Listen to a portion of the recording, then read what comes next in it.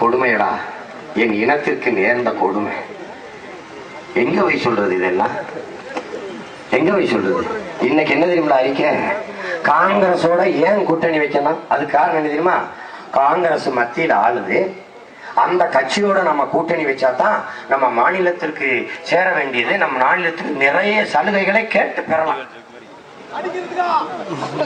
நாம சொல்றதெல்லாம் மத்திய அரசு கேட்கும். அப்படியா ஐயா? போற நிறுத்த சொல்லி போராடணும் ஐயா. பதினாறு பேர் தீக்குளிச்சு செத்தம் ஐயா. மலையில நனைஞ்சம் ஐயா. உண்ணாவிரதம் ஜாகிரவர கிடந்தம் ஐயா.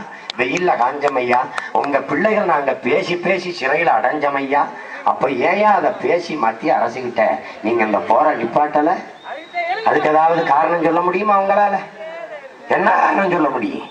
மத்திய அரசு மத்தியிலே ஆளுகிற காங்கிரஸ் அரசோட கூட்டணி வைத்தால்தான் எதையாவது சாதிக்க முடியும் என்றால் அங்க மத்திய அரசோட எதிர்த்து போர் புரிகிற கேரளாவில் இருக்கிற கம்யூனிஸ்ட் கட்சி அந்த மண்ணுக்கும் மக்களுக்கும் அத்தனையும் சாதிக்கிறதே. அது எப்படி சாத்தியம்?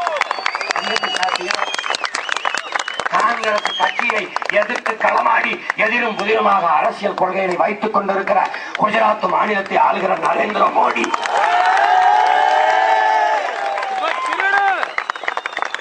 இலவசத்தை ஒழித்து தன் நாட்டு மக்களை பிச்சைக்காரர் நிலையில் இருந்து மீட்டெடுத்து இலவசத்தை ஒழித்து ஒரு லட்சம் கோடி கடனாக இருந்த மாநிலத்தை முதலமைச்சரான பிறகு ஒரு லட்சம் கோடி கடனையும் அடைத்து அந்நிய வங்கிகளில் ஒரு லட்சம் கோடி தன் மாநிலத்தின் முதலீடு செய்கிற அளவுக்கு வளர்த்து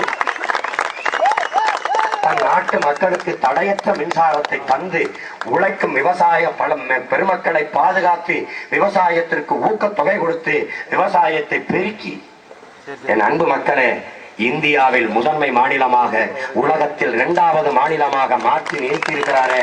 அவர் என்ன காங்கிரஸ் கட்சியை அப்படியே தாளாட்டிட்டாரு